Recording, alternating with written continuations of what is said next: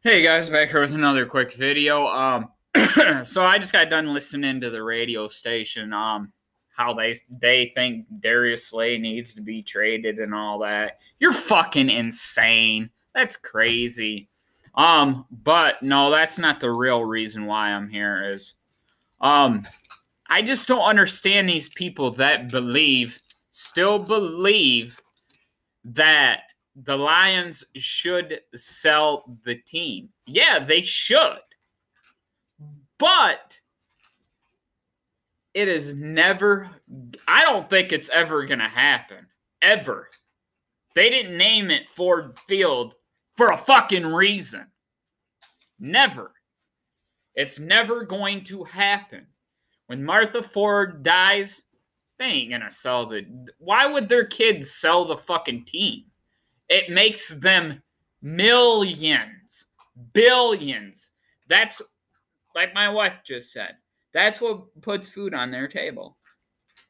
They're not they're not going to ever sell The Lions aren't never going to sell Ford Field because like I said, it's not it's not called Ford Field for a fucking reason.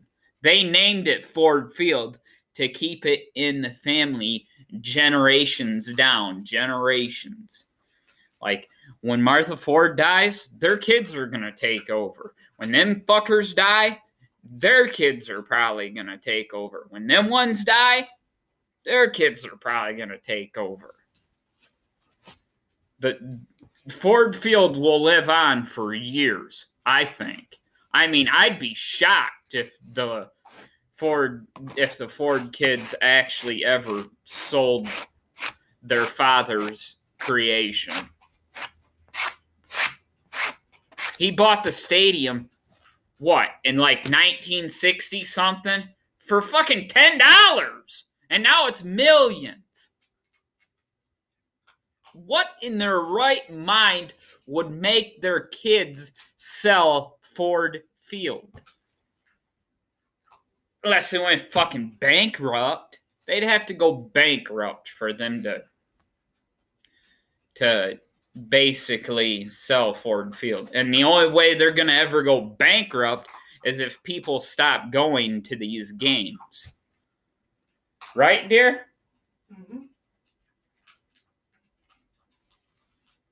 Um yeah. I just think it's funny how people still believe in the that the Lions are going to sell this team one day. I don't think it'll ever happen. Let me know what you guys think.